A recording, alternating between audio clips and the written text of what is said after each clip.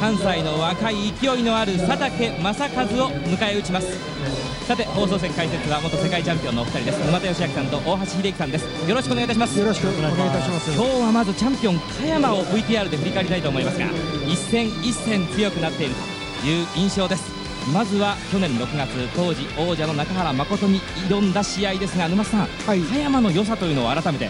あのうまくですねその距離感を取ってですね、はい、まあ、あの左のジャブを使いながら、うん、うまく出てくるとそのタイミングのいいね右ステルト打つ、うん、また左フックもいいものを持ってますからね、はい、えー、その辺も十分生きたボクシングをしてますよね。はい。さあそして去年12月の初防衛ベテランの小松のまぶたを切りました。8ラウンドに右ストレートで切って9ラウンドストップ。ということでしたただちょっと加山もやもやが残った感じでそんな思いを2度目の防衛戦の4月佐伯真司を見事5ラウンドラッシュで TKO ということで大橋さん、はい、この佐伯戦で何か一皮むけた感じもするんですよ、加山。そうですね、非常にね、この相手を冷静に見て、自分のペースで戦いながら、そしてそのチャンスにね、の連打で、あの勝負かけれるようになりましたので、その辺がね、大きく成長したところだなと思いますね。はい、そうですね、今日が3度目の防衛戦。入場。ジムの会長はチャンピオン加山にとってこれまでのチャレンジャーの中で一番になるはずと豪語しておりましたがスピードが尋常です。足を使って動いて動いて王者を翻弄するつもり。日本ウェルター級3位佐竹正和リングに上りました。続きまして赤コーナーよりチャンピオン田山俊治選手の入場です。大きな声援です。前回2度目の防衛戦の見事な KO 劇が強烈な印象として残っております。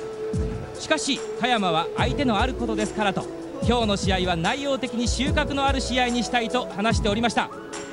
最近は自信と落ち着きも感じられる加山です。一つ下の階の控え室からゆっくりと階段を上ってきました。間もなくファンの前に姿を現します。大きな自信を持っています。ただその自信が過信にならないようにと自ら釘も刺しておりました。さあファンの前に姿を現しました。サウスポーはちょっと苦手かなという印象もありますが負けたことはもちろんありません。まず得意の左ジャブを入れること。そして決めは強烈な右ストレートを叩き込めるのか。葉山チャンピオンの強さを見せつけたい。ゆっくりと悠々と堂々と入ってきます。チャンピオン加山にはショットやソットじゃ勝てないと周りの人に思わせたいと話していました。今日の試合どうでしょうか？深々とお客さんに一礼します。加山俊治3度目の防衛のリングに上ります。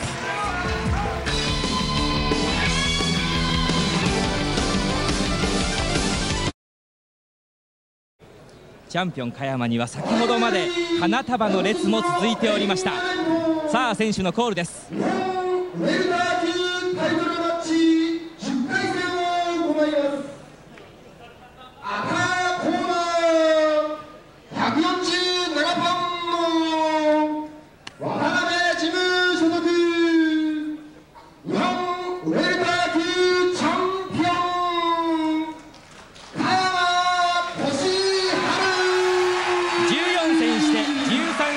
1分け負けはありません。KO 率は6割2分という加山です。青コーナー挑戦者146番の明石事務所属日本ウェルター級3位佐竹正和12戦して7勝 4KO 1対4分けという戦績。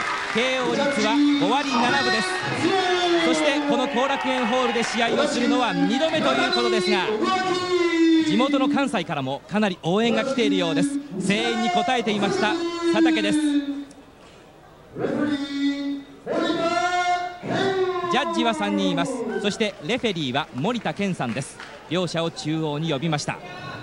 チャンピオンの加山はいつものように対戦相手の顔目は見ません。佐竹の方も目を合わせませんでした。さあ加山の3度目の防衛戦です。日本ウェルター級タイトルマッチ。チャレンジャーの佐竹は初めてのタイトルマッチ挑戦です。さあ目つきが鋭くなりました加山。第1ラウンド開始のゴンが鳴りました。左側が加山そして右側ブルーのトランクス向こう側になりました。そして紫のスパンコールのラインが入っています。チャレンジャーの佐竹正和です。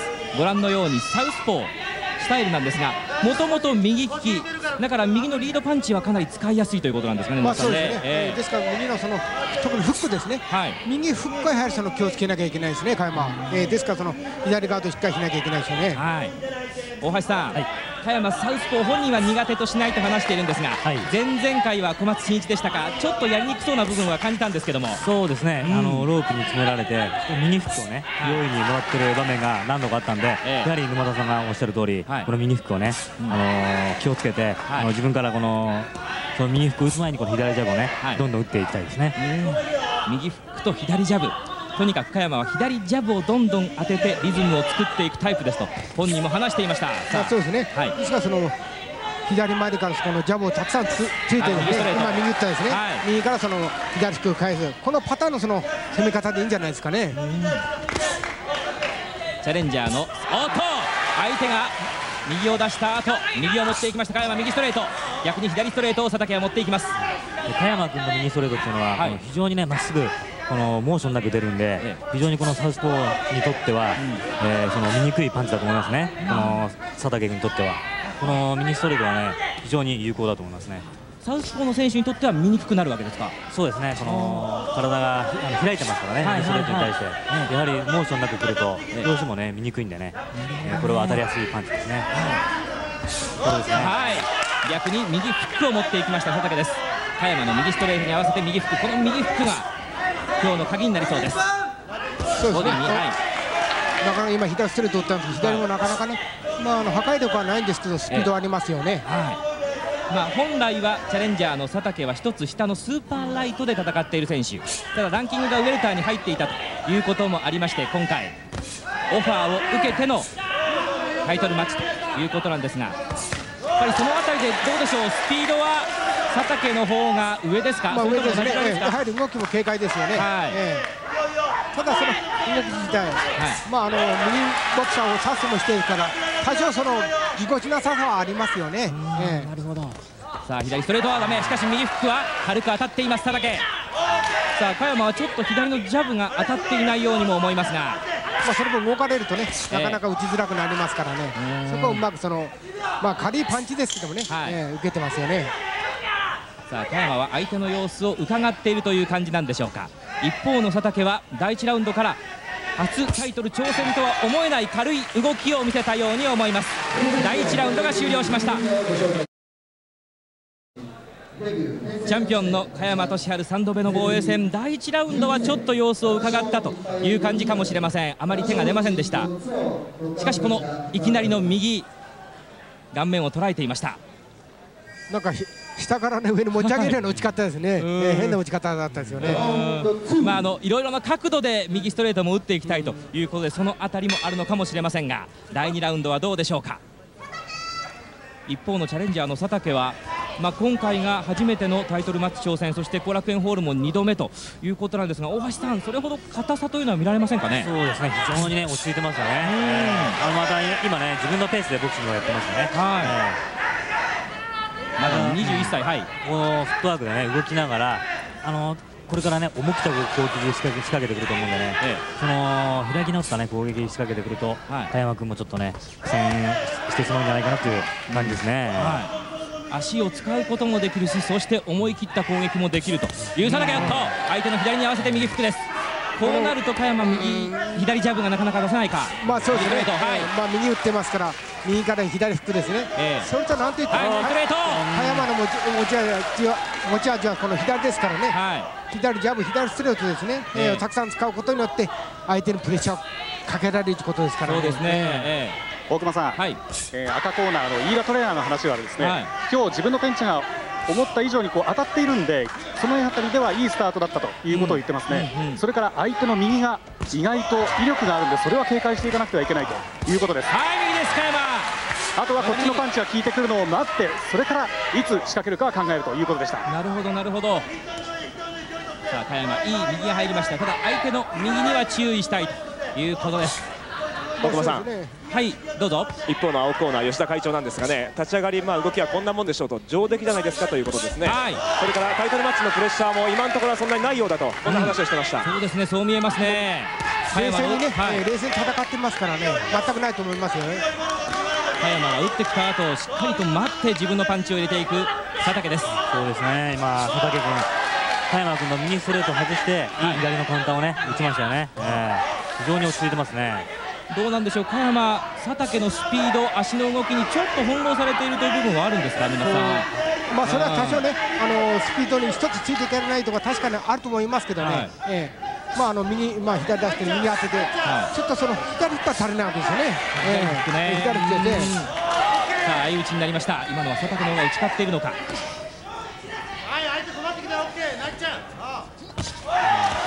佐竹の右から左です。左ストレートどうも先手先手はここまで佐竹のような気がします。さあしかし。空振りした後右を入れていく佐竹。何？右。うーんスピードがちょっと佐竹の方が上回っている感じこんな一発一発のパンチは感じられないんですけどね。非常にねこのスピードのリズムで攻めてきますからね。えすごく見栄えがいいですよねそうですね、ここまではそうですね。スピードと相手の出鼻にねうまくあの捉えていますからね。えまあ、チャンピオン加山もどちらかというとどんどん出てきてくれる。方がやりやすい部分もあるんですがこう足を使われるとどうなんでしょうか。第2ラウンドはこちら。チャレンジャーの方が優勢だったように見えました。タイトル初挑戦とは思えない序盤の動きを見せています。チャレンジャー日本ウェルター級3位の佐竹正和です。第2ラウンドもえいい感じ、ええ体でフェイント使って打ってますからね。はい、まあ、パンチはそれほど、まあ、右はかなりあるみたいですけども、ちょっと加山受けすぎですかね、これはね。ちょっともらいすぎですよね。はい、またいつもですと加山君がはい、フットワークを使う、ね、展開になるんですけど、はい今日は逆にね、はい佐竹君がこの動いてこのボクシングしてるんで、ええちょっといつもと、あのー勝手が違うなっていう感じですね、加山君の方はねそうです。ね。中山が噛み合わないって感じですよね。そうですね。まあ、加山サイドの飯田トレーナーが一番心配していたのは佐竹の速い動きに加山のリズムが奪われてしまうことが一番心配だと話していましたがちょっと序盤そんな展開になっているような気がします。まあそうですね。それから中盤後半にね、えずるずる。まあ言ってもらっちゃ困るんですけどもね。そうですねええまあおそらくですね、まああの加山のことですから、はいまあ流れを変えると思いますけどね。はいやはり流れを変えるにはこの右ストレートですね、はいこの右ストレートがポイントになると思いますね。やはり加山としても先ほどセコンドからのリポートもありましたけどもある程度パンチを入れて相手の動きが少し鈍ってきたあたりでと考えているのかもしれません。やはりこういう新鋭というのはこの最初にね、あのペースに乗せてしまいますと、ええ。そのまま一気にいってしまうことありますからね、あこの流れを変えないとダメですね。ーそう。ですね。さあ試合は第3ラウンド。まだ序盤ではありますが10ラウンドはあっという間。早いうちになんとか流れを変えたいんですがうーん先に手を出すのは佐竹です。でもまあこのラウンドね、はい。何発かさあのー、加山の右ストレートアタックですからね。はまあできればね、あのパンチかその左フックですよね。ええ欲しいですよね。いなるほどね。うん。まあ、今の右ストレートはこの今まではこの軽い右だったんですけど、はい。い今の右はこのね腰を入れた右でしたからね。なるほど。非常に有効なパンチでしたね。右ストレートからそして相手サウスポーですから左フックをフォローしたいところなんですが、まあ、それはあの前回の小松真一のとの戦いの時もあの放送席に指摘されまして本人はかなり練習してきたつもりなんですけどと話してましたがやはりまだ練習の最中という感じかもしれませんね。左フックはまだ一回も出てないような感じしますね。はいそうですね。スパーリングでは何度か見せていた加山なんですがやはり本番になるとというところなんでしょうか。さあまた右です。まあこの右ストレート一本だけですよね。はい。ええまあこのラウンドはよくクリーンヒットしてますよ。ええ。え踏み込みはないんですけどもね。ええとにかく相手のリズムにさせてはいけません。チャンピオンの加山です。一方の佐竹としてはこのままのリズムで最後までいければというところです。まああの一二ラウンドから見ますとですね、はい。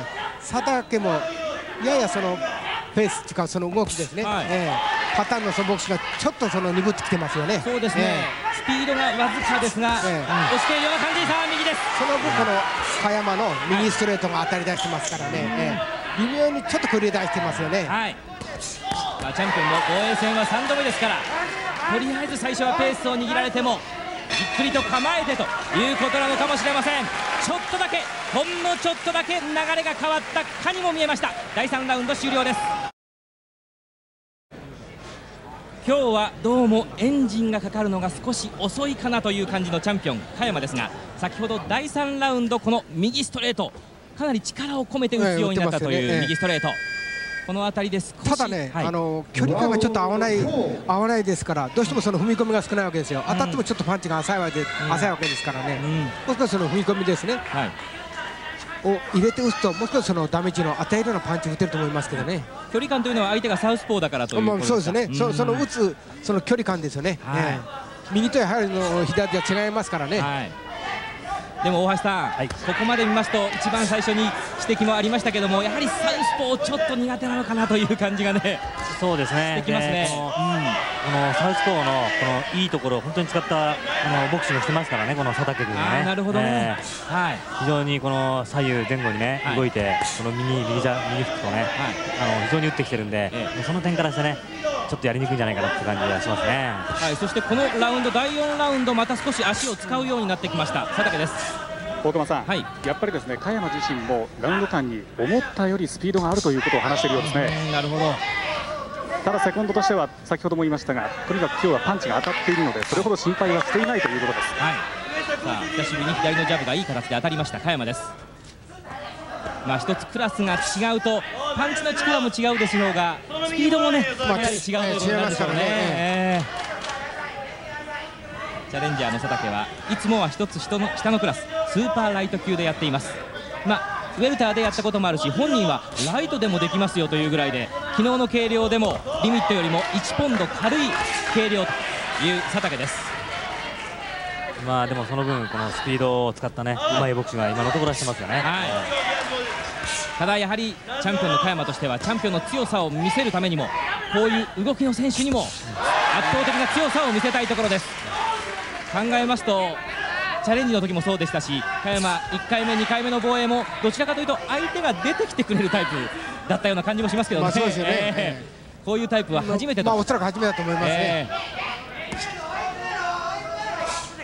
こうやって足を使う選手をどうやって仕留めていくのか一つの課題を与えられた感じの加山です。やはりサウスポーでこれだけ動かれますとね、まあ、あの誰でもね戦いにくいと思うんですけどね、ええ。ですから加山君もこの単発の右じゃなくて、はい。このコンビネーションからの右ストレートですね、はい。4発目、5発目のね、はい。右ストレートで終わるようなそういう攻撃が、あのーもうちょっと欲しいですね。そしてこのラウンド見てますとこう左のジャブを入れようという感じも見られます。そして右ストレートを直接持っていきましたボディを打ち返します佐竹です。このラウンド佐竹足は使っているんですが手は出ないですねは有効なパンチはありませんね。ええ。なぜかというと左出してですね、えいわゆるその相手佐竹が入ってくるとその右ストレートって言いますから、はいはい。えなかなかその手は出しづらいと思いますよ。なるほど、はい。加山が左ジャブを使いながらそして右ストレートも使って相手の中に入ってくるのを止めているというこのラウンドです。右カウンターで右ですちょっと抜け取りました佐竹加山の右ストレートが顎を捉えましたここで第4ラウンド終了です先ほどの第4ラウンドまさに加山らしいという右ストレート。ああ川村隆一さんも今日は応援に駆けつけているという加山ですがこれですね。今出花にね、ええ。右ストレートですけど、ただ一発なんですね。ね一発なんですね。このええ。顎の上がったところに左フックフォローできればこのダウンもねうん取れるんですよね。なるほど。ただ序盤の流れとは少し変わってきた感じがします。試合は中盤です徐々に徐々にチャンピオンのペースに持っていけるのかどうか。この辺りが踏ん張りどころの加山です。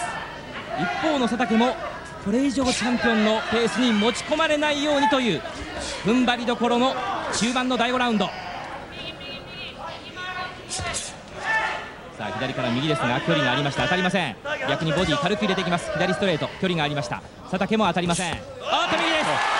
左をフェイントのように使って右が当たりました。ちょっとカウンター気味になりましたね。はい。大丈夫でしょうか？右のパンチはかなり強烈だと加山本人も話していたということです。右フックです。さあ左右。相手が左を打ってくるところ加山は右を持っていきました。さあちょっと打ち合いの様相になってくるのか。左左とついていきます。先ほどのラウンドあたりから加山は得意の左ジャブを少しずつ入れられるようになってきました。大友さん、はい。飯田トレーナーもねその左をうまく使ってもっと試合をコントロールするようにという指示を出してますね。うん。ということはここまではコントロールできてないということなのかもしれません。まあそれだけねサウスポーチことでまあこれだけ動きがある選手ですから、はい。噛み合わないということですね。そうですね、さあ右を軽く入れましたこの右からね左利く欲しいですよね。えーやはり単発では打てるえーはい。打てるはずですから。さあどうも左ジャブそして右ストレートという単調な攻撃になってしまっている加山です。大久保さん、はい。青コーナーですがねチャンピオンの右は単発なんでそんなに効いてないとチャレンジャー本人が言ってるようですね。なるほど。まあ、その調子でどんどんスピードを使っていけという話をしてました、なるほど。先ほどのはい。やはりこの単発な攻撃ではねこの足を使う選手っていうのはなかなか捕まえられないですからね。そうですよね。えーまあ、この辺でこのコンビネーションのね攻撃に切り替えた方がね、あのいいと思うんですけどね。なるほどそのあたり終盤に持ってくるのか。それとも最後までこのままいってしまうのか加山。ただチャンピオンとしてはこのままではいけないという感じもします。あーやはり右を狙っています。右を狙っています。そして左フックを今フォローしましたけれども当たりませんでした。佐竹のパンチが軽く入ります。ちょっとこの辺り佐竹は軽くパンチを入れている感じというポンポンポンと連発で持っていきます。まあそうですね。あの葉山の右ストレートねパンチを警戒しながらね、はい。あの手を出しているというような印象ですけどただですね、はい。その挑戦者ですから、はい。もう少し攻めるとこ攻めないとですね、はいい、けないんじゃないかなと思いますけどね。挑戦者がですか、はいそうです。うん。そうですね確実にポイントを取ったぞというところを見せてほしいですね。ないですからね。ええ。そうしますとやはりチャンピオンのパンチの威力もありますし手数かそれか有効だかということにもなってくるかもしれません第5ラウンドも時間がなくなってきました。このラウンドはちょっと静かなラウンドという感じもしますが中盤折り返しを過ぎました。この第5ラウンド放送席10対10イーブンでした。ここまで持ち前のスピード足の動き佐竹がいい感じで進めているようにも思います。先ほどの第5ラウンド右のいいパンチが入りました。とにかく17歳高校2年生からボクシングを始めた佐竹です。その動機は女の子にモテるかなと思って始めたと本人は言っておりましたがまだ全然モテませんよと話していましたがチャンピオンになればモテるかなというまあおそら話くも出ています。えーまあおそらくモテんじゃないですかチャンピオンになれば。大橋さんどうなんですかそのあたり。いやーやっぱモテますね。ああなるほど 大熊さん、はい。今日はあの周りにもですね、はい。若い女性もすごく多くてねそうなんですよね。えーその歓声すごいですよ。まあ、加山のファンもいますしそしてセミファイナルに出てきた選手のファンもいるという感じで今日は後楽園ホールいつもよりも本当に若い女性が多いように思います。その声援を受けた加山そして佐竹どちらが勝利を収めるんでしょうか。試合は後半の第6ラウンドに入っていますまあ、あの試合はね、あのともかくして、こう両者見ますとですね、えやはりその何が何でも加山の方がですね、ええ。勝つようなその気構えのそのボクシングですよね、頂上を見ますとですね、はい。ええ。えー佐竹の場合はですね、あくまでその冷冷静さで、うん。何が何でもその肩というね、表情は見られないですよね、えなるほど。え冷静すぎますから、えそのあたりでじゃあしっかりとこのラウンドポイントを取ったのかということになってくると佐竹はいい感じでは進めていますけれども。えだと思いますけども、ええ。えまあ、ポイントになると、ちょっとね、はい。右右さあ加山はこのあたりもちょっと強引に攻めていきます。まあ、いいですよ、もう強引に攻めていっていいと思いますよ、加山は。はい。初めて左フックってね、大分なんですけど、打ったんですけども、ええ。やっと左フックが出始めたんですから、やはりこのあたりでちょっと加山チャンピオンらしい強引なところも見せたい。左左とジャブは当たります。さあジャブからつないでいけばリズムが出てきます。加山俊治です。第1ラウンドはジャブが当たりませんでした。そのあたりで相手にペースを握られた感じ。正竹の方としては加山の得意の左ジャブを足を使ってかわしていきますよと言っていましたがその通りの試合展開をしてきました。このラウンドね、よく相手のパンチも見えてますよね、はい。ええなんかそのブロックしてますから、加山。ええ加山としてはもっとですね左をね、左ストレート、左ジャブを使いながら、どんどんやはりその追ってね、攻めるボクシングしてもいいと思いますよ。もっと追って追ってですか？ええ追ってですね、そして右打って、ええ左を返すようなボクシングですね。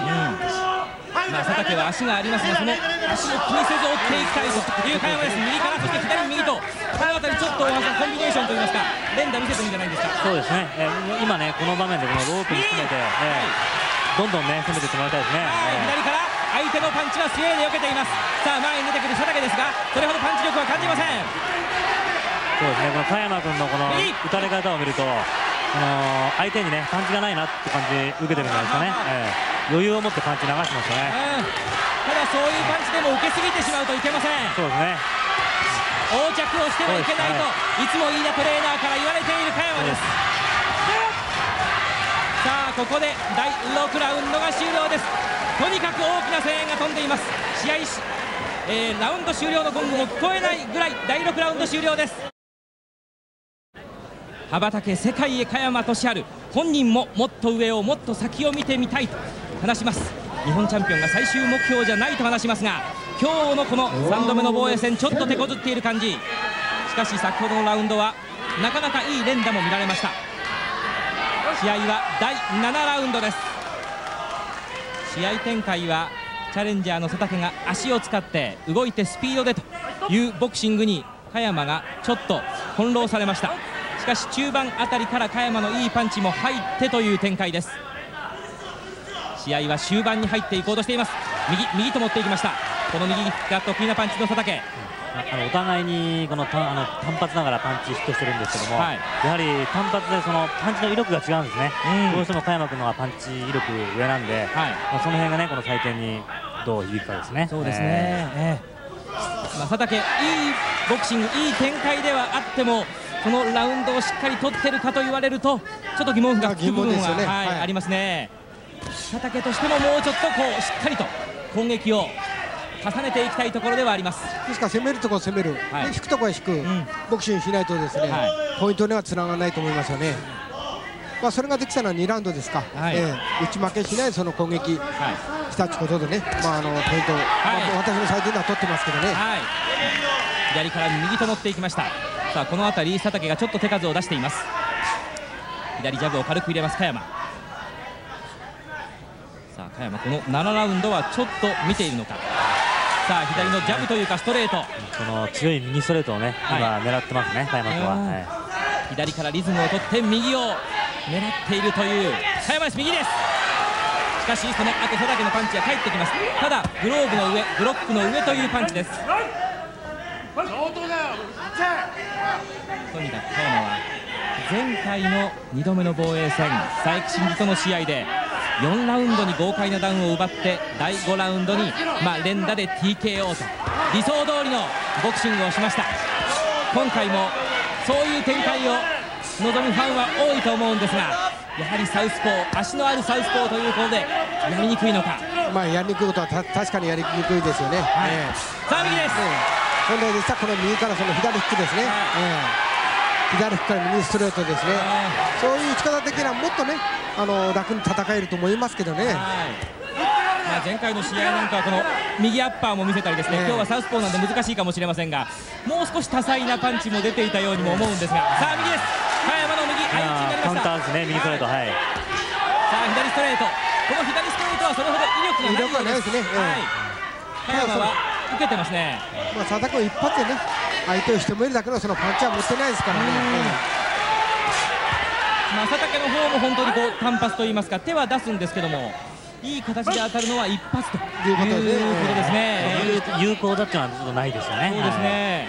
さあ第7ラウンドも試合がなくなってきました右フック。さあまた右です。右右と加山は持っていきます。うんどうも帰る背中がなんとなく寂しい感じはする加山ですが第7ラウンド終了です。今日のエキサイトボクシング日本ウェルター級のタイトルマッチ。赤コーナー右側日本ウェルター級チャンピオンの加山俊治。まあ、ラウンド間はちょっと笑顔も見えておりましたがうんどうもうまくいかないなという感じです。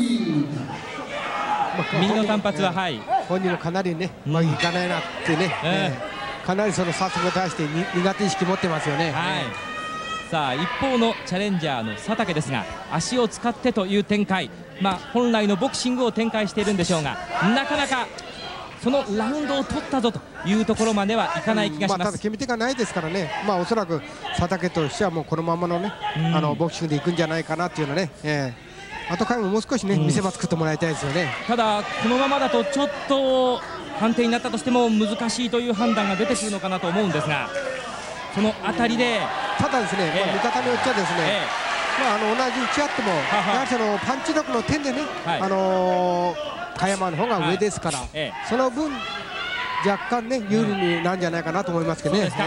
このラウンドはちょっと佐竹が右をついてそして左も持っていきます、なかなかいい右のジャブをね、当てましたね、はい。えーまあその後の攻撃がないんでね、うん。ちょっとポイントにつながらないような気しますけどね、はい、一方の加山は左を当てます。大久保さん、はい。青コーナーのセコンド陣もね、はい。まあ、ここまではほぼ互角だろうけども、はなんか決め手が欲しいなと、はとにかく終盤に強い選手なので、ええ。ここからなんとかしたいなという話をしてましたね。そうですね。大久保さん、はい。赤コーナーとしては、はい。終盤の決め手はですね右が当たったら左を返して連打でパンチを重ねていけとこういう指示を与えてます。なるほど。まあ、それが理想なんですけどね、ええ。右打って左ですね、はい。左利きですね。最後は佐竹の右でした。左でした。とにかくちょっと打ち合いになったら加山コールそして佐竹コールという後楽園ホール。今日は超満員。そして若い女性の声も今日はたくさん混じっているという後楽園ホールです。さあ左をついていきました佐竹。加山はちょっとこのラウンド後手になっています。ちょっと佐山君、このボディの攻撃がね、はい。ほとんどないんでね、はい。ちょっとボディの攻撃をあの打てば、相手がね、あのボディにその気をつけますから、はいその分、顔面にもね当たりやすくなるなるんで、なるほど。そういう意味でもね、ボディ攻撃が欲しいですね。そうですね。ちょっと打ち合いになっているか？手を出していく佐竹左です。右をフォローしました。佐竹さあ佐竹まだ左。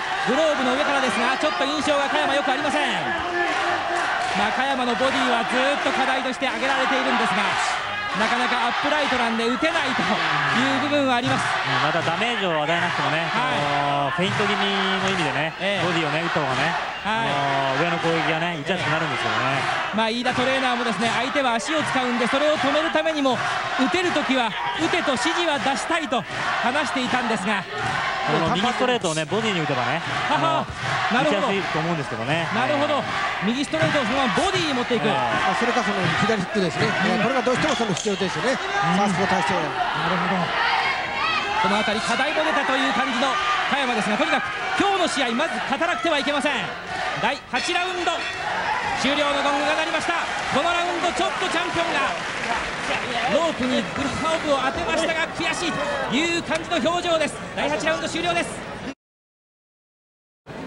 先ほどのラウンドはかなりいい攻撃連打を見せました。積極的に前に出ていったチャレンジャーの佐竹です。そしてどうも溜まっているフラストレーションがこちらまで伝わってきそうな加山です。うまくいきません。残すラウンドは2つになりました。放送席で採点を見てもほぼ互角という感じの採点です。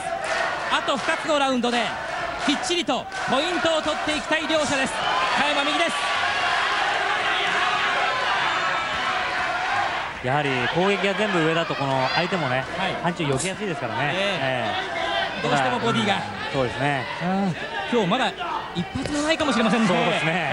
えまあ日本チャンピオンでそのボディに一発持たないというのは珍しいと思うんですけど、そうですね。まだそれで日本チャンピオンになってますから、うん。まあよほどね。その持ってるものっていうのはね、うん。田山君素晴らしいものを持ってますね。はいただいつもは何発かは見られる気がするんですけどもやはり今日は相手が足を使うということでなかなかこう潜ってボディという感じにはいかないようです加まあそう山。はい。ね噛み合わないしね。はい左。おっと左もらいました加山ちょっと効いた感じですかね。はい。きあ聞いたですよ、えはい。それほど威力のパンチはないんですけどもね、えまともすぎましたですね、今のパンチは。ちょっと気を抜いたところにもらいましたかそうらね。ですね。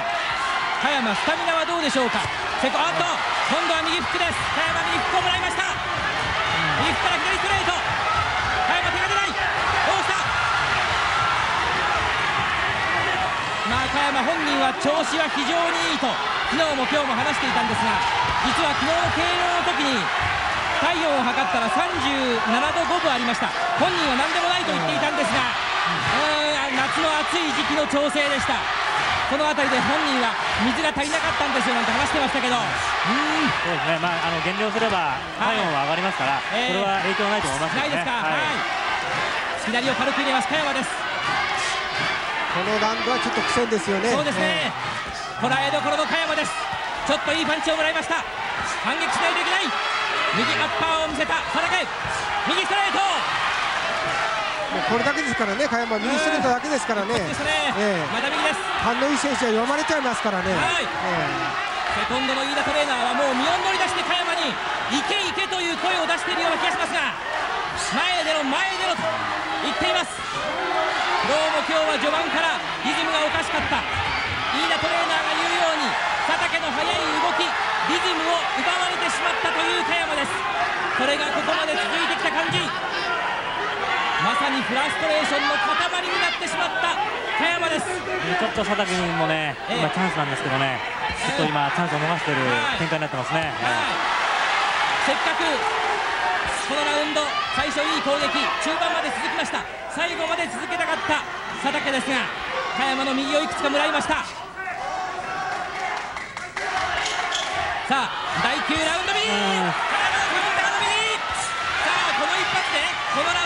ウンドドの採点はどうでしょうかちょっと難しいか難しいか第9ラウンド終了チャレンジャー日本ウェルター級3位の佐竹正和21歳今日が13戦目ということですが落ち着いて試合を進めました。そして一方の加山ちょっと苦しいか。佐竹の先ほどのラウンドのいい攻撃そして加山の右も入りましたさあ残すラウンドは後楽園ホール加山コールとそして佐竹コールが交錯して実況が聞こえないぐらいではあります。放送席の採点ではここまでほとんど五分です。しっかりとこのラウンド倒さなくてもポイントを取りたい両者です。両方ともね、勝負かけてますね、はい。このラウンドは。はい加山右加山右アッパー初めて見た右フックさあ加山の動きパンチがこれまでとは違います。いくいくという感じ。佐竹も左ストレートまた左ストレート右。右です。右へね、思い切ってもいいから、い。あの左返さなきゃいけないですね。はい。ええ。さあ。左左返さないからそのお返しのパンチもらうわけですから。なるほどなるほど。左ああいう手ですね。はい。どんどんどんどん手を出していきたい。加山一方の佐竹もこのラウンドを取りたい。あと2分です。最終ラウンド前回見事な KO 勝ちの加山。今回これだけ苦戦するとは思いませんでした。佐竹は大前線。試合は判定になるのか。このラウンドで決着がつくのか。第10ラウンド最終ラウンド。加山右です。先に手出していきたいですね。葉山先に先手攻撃ね。えはい、佐竹が左。先手先手。あストレート。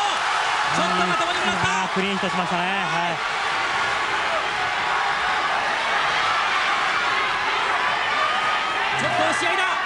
まあ佐竹君も前半からね、あれだけ足を使ったんですけど、スタミナありますね。えスピードがあります。先に手が出ます。さあ残り間もなく1分です。加山手を出したい。どうした？受けてしまう。右ストレート。距離があります。当たりません。また右。これもかすった感じ。左フックは巻き込みました。右もうねフック加山日本で戦ってるっていうような感じですからね。さあまだ足を使う佐竹これを止めたかった加山ですが止まりませんでした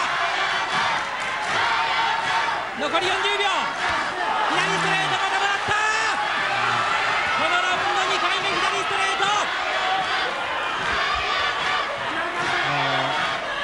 ー、加山君の右目の背がね、かなり腫れましたね、あの左ストレートで。右の目の下あたり傷がありますがここが大きく腫れてしまった。加山です。さあ加山がこの組に出していく。もう15秒になります。さあ最後視力を振り絞ってチャンピオンチャレンジャーさあ加山いったあと10秒佐竹も手を出す加山も手を出す右右うん、いい打ち合いですね。はい。ここで試合終了です。さあ抱き合っていったのは佐竹。加山はそれに応じました。試合は判定になりました。いややいやいやいや加山タイトルマッチでは初めての判定ということですが放送席の採点微妙ですね。微妙ですね。難しいですよね、えー。レフェリーは森田さん、阿部さん、浦谷さんの3人ですどう判定しますか手数では佐竹の方が上回っていたか。葉山はいいクリーンヒットはありました。最終ラウンドも序盤は佐竹後半葉山も頑張りました。この辺りどうなのか。手を挙げているのは佐竹。葉山は反応はありません。これは手数対有効打ですからね、うん。これはあのどっちに生まれてもおかしくないですね。そうですね。さあ、今採点が行われているところです。初チャレンジでした佐竹。21歳落ち着いていました。自分のボクシングができた感じ。採点の結果を発表いたしますジャッジ阿部97対96ジャッジ内田98対95ジャッジ浦谷96対94勝者赤コーナー葉山うーん、3対0ということで、佐竹はがっくり、葉山は下を出しました。まさにそういう展開だったと思います。まあそうですよね。あのただですねええ、パンチ力の差ですね。えーどっちにその採点つけるというどうしてもそのパンチ力のある方にですね、は有効だとしてやっぱりつきますよ。そうですね。はい。いくつもパンチを相手に与えていても一発のけぞってしまうと一発来るとねちょっと引くと、いもうあのそれが逆転しちゃいますからね、ポイントがですね。そういう部分はありますよ、ええ。山下さんね。まあそまあ、それだけそのパンチ力のある選手っていうのは、うんやはりその魅力だし、うん有利ですよね。はい。で。も最終回に佐竹君はね逆に強いパンチを打ってましたからね、はい。えーそれをもっとね早い回に出してれば、判定逆になったんじゃないかなって感じしますけどそうねで。すね。沼津さんも最中に話ありましたが佐竹としてももっと攻撃を仕掛けてしっかりとポイントを取りたかったというような話をしてましたけどね。攻撃はどうしてもちぐはぐなね、はい攻撃だですからね。はいはい。97対96、98対95、96対94、1ポイント、2ポイント、3ポイントということで3対0、加山ですが、ちょっと険しい表情です。えーやはり加山としては課題が残る戦いでしたか、大橋さん。そうですね、まあやはり再三言ってる通りこのボディ攻撃ですね、はい。これがほとんどないんで、ええ。あの顔面攻撃を生かすにはね、このボディね、これをねあのまマスターしてもらいたいですね。皆さんどうですか？そうですね。まああのサスは誰にしもね、どの選手も苦手なんですけども、やはりですね、もっと工夫したね攻め方をもっとしてもらいたいですよね。ええまああの今後につながるね、はいえーボクシングをもっともっとしてもらいたいですよね。まあ、一方の佐竹なんですが、本当に初チャレンジとは思えないぐらい、伸び伸びと試合をやったと思います。まあそうですよね。うんええまだまだあのチャンスがありますから、はいええまあこれではあの落ち込まないで、はいもっともっと練習を励んでですね、え再度やはり挑戦してもらいたいですよね。そうですね、はい。まあ、それに本来は一つ下のスーパーライト級ですから、その辺りでまたチャンスが出てくるということもあるかもしれません。加山としては今日はちょっと納得のいかない勝ち方かもしれませんが判定ということで3対0でした。1ポイント2ポイント3ポイント。3対0で加山が3度目の防衛になんとか成功したということです。ただ、まあ、チャンピオンとして防衛戦を進めるうちにはこういう試合もあるのかなという気もいたします。え沼さん、大橋さん今日はどうもありがとうございました。